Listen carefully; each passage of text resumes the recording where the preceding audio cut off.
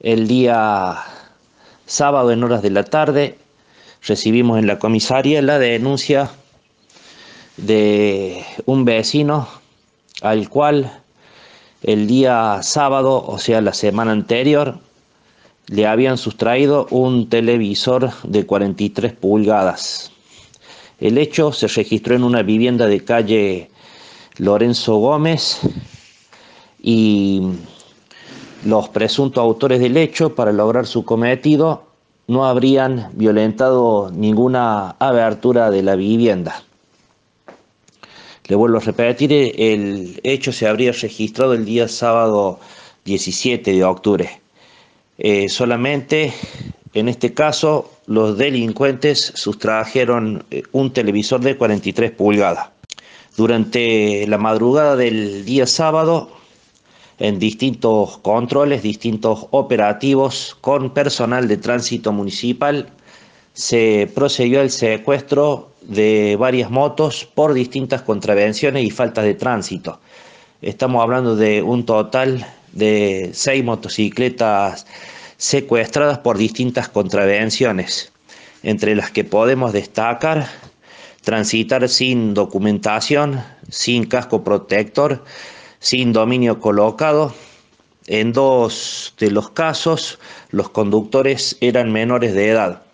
Por lo tanto, estos menores fueron entregados a sus progenitores.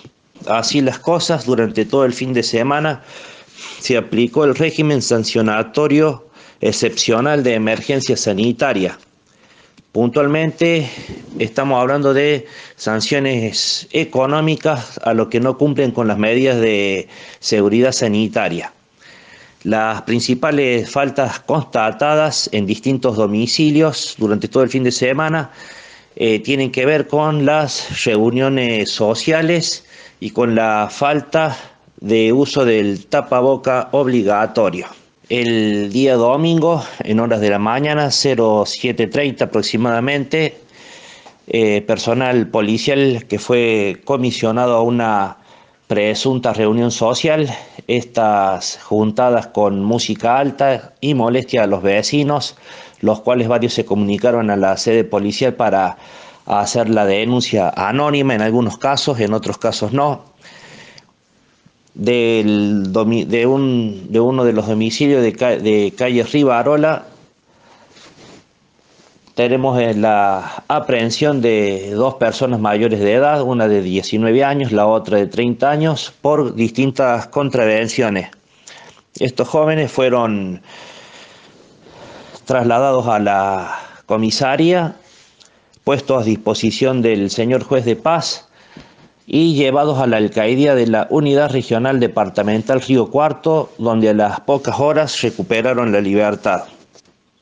Bueno, para continuar el día domingo a las 5 de la mañana se produjo el despiste y vuelco de una Ford EcoSport en la ruta nacional 35 a la altura del kilómetro 650. Afortunadamente el conductor de este vehículo, un joven de 27 años, resultó ileso y no fue necesaria su asistencia médica. A posterior el vehículo fue remolcado eh, con colaboración de, de, una grúa. En este caso, eh, el conductor, por motivos que son materia de investigación, pierde el control del rodado y termina eh, a, un, a un costado en la banquina sin lesiones, gracias a Dios. Eh, a esa hora vale destacar que debido a la intensa lluvia que registramos en gran parte de la provincia, la carpeta asfáltica estaba eh, tapada de, de agua. El domingo, también día domingo en hora de la mañana, un vecino constató el faltante de dos corderos de 17 kilos, cada uno aproximadamente. El hecho se registró en Hipólito Yrigoyen y Zambroni.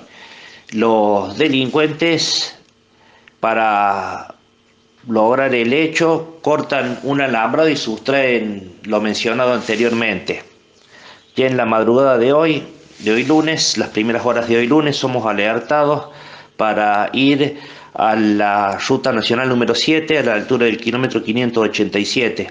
Acá tenemos una parrilla en la cual el dueño constata el faltante de 18 kilos de carne y en el lugar la, puerta eh, de ingreso al local estaba, estaba violentada. Fuimos alertados y nos llegamos al lugar donde entrevistamos al vecino, el cual nos informa del faltante que le mencioné recién. Este hecho eh, está, igual que los anteriores, está bajo, bajo investigación.